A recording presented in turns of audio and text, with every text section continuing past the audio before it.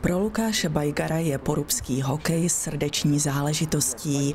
O jeho historii se zajímá od klukovských let a teď o ní chystá i knihu. Už v tom dětství vznikla nějaká ta touha zmapovat kdo jsou vlastně ti pánové 60 lety, kteří tady chodí na hokej a 70 letí. První hokejové družstvo vytvořila v Porubě parta kamarádů v roce 1932.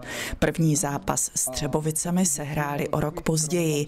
Dopadl neslavně 2-7. Byli to kluci, kteří zaslechli nebo věděli, že se hraje nějaký hokej a chtěli svůj klub. Hrávalo se na rybníku u zámečku porubském, když byla teda tuhá zima. Když nebyla tuhá zima, tak se spíš nehrálo, ale naštěstí v těch časech se hrávalo velmi často. Jedno z prvních umělých kluzišť už dnes neexistuje. Bylo vybudováno u tehdejší smyčky, dnešní ulice v Zahradách. Druhé kluziště bylo v Sokolovně. Dnes se tam hraje třeba florbal. Oficiálně byl hokejový klub založen roku 1946 jako SK Poruba. Postupně vystřídal mnoho názvů. Dnes je to HCRT Torax.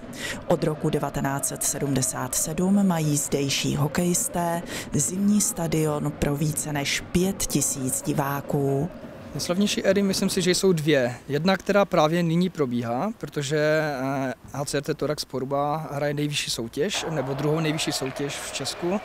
A je to docela 15 let zpátky, kdy Poruba postoupila jako tehdejší HC Sareza Ostrava do první ligy. A jsou to asi nejslavnější éry klubu a jsou spjaty s tímhle stoletím. Na porubském ledě začínali mnozí vynikající hráči, kteří se prosadili v extralize, reprezentaci nebo v NHL. Namátkou obránce Roman Polák, útočník Lukáš Klimek nebo bývalý brankář, dnes trenér Martin Prusek.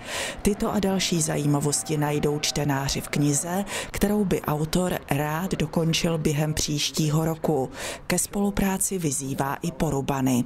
A s čím by mě mohli nejvíce pomoci uh, pamětníci, tak to jsou, uh, a je to takový paradox, 80. léta minulého století.